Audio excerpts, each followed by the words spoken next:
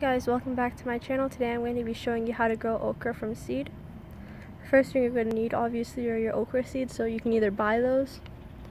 I have the burgundy. Go ahead and read this.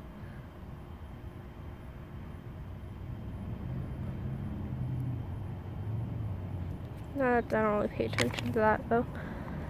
Or you can harvest it but it's probably not going to work if you just try to harvest harvest the seeds from store-bought okra because they might not be mature. You have to wait until the okra pods dry and then you can remove the seeds and do the same thing I'm about to do.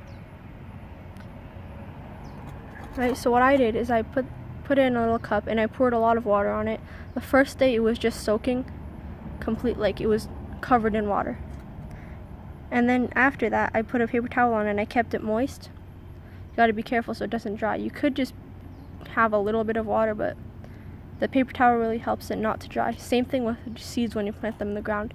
If you don't want them to dry fast, put, put a paper towel on them. It works as a sort of mulch.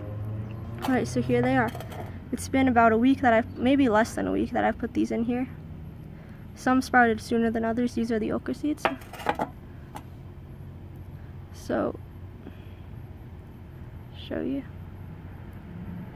So they're ready to be planted. So for the potting mix here, I just have regular vegetable soil and then I mixed in some organic matter, food scraps from the kitchen, and then some potash, which is just ash from the fire because it's high in potassium and that's what they like.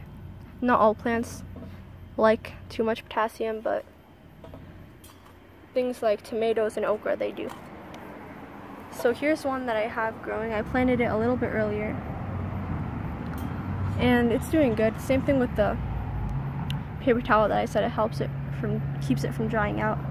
It's coming out and I'm sorry that I don't have a bigger example to show you but I'll definitely do an update video. So what you're going to want to do is just I'll have to pause it because I'm the one recording. So I've put them root down in this potting soil and you can see just about that much. Then I'm just going to cover it up and water it. So when they do sprout, the lighting that they like is full sun, so six to eight hours a day, maybe even more. They need the sun for their fruit to actually mature. And these ones, I didn't have enough room in here. I'm gonna grow them somewhere else. And this is just temporary. I'm not gonna keep them in here because okra can get up to six feet tall. This is just until I get bigger pots and more of them.